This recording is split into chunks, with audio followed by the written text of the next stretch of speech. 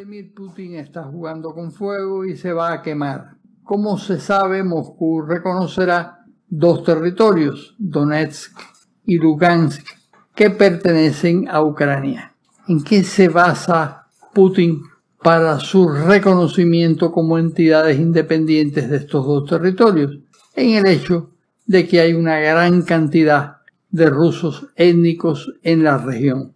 Es como si Haití, en vista de que en la frontera dominicana hay numerosos haitianos, reconociera un Estado independiente en esa región. Sé que hay muchas diferencias entre Haití y Rusia y entre la frontera haitiana y Ucrania, pero solo trato de hacerme entender. Hasta hoy, Putin tiene de su lado a la mayor parte de los rusos, pero tan pronto comiencen a llegar los ataúdes, eso va a cambiar. Siempre sucede.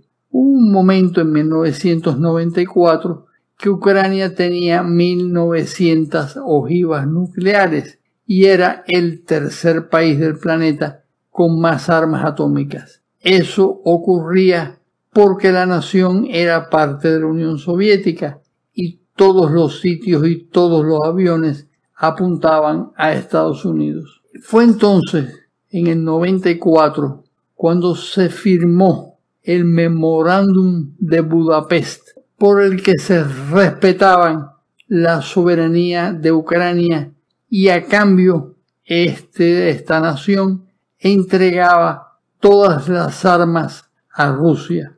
Estados Unidos y el Reino Unido quedaban asegurando el acuerdo.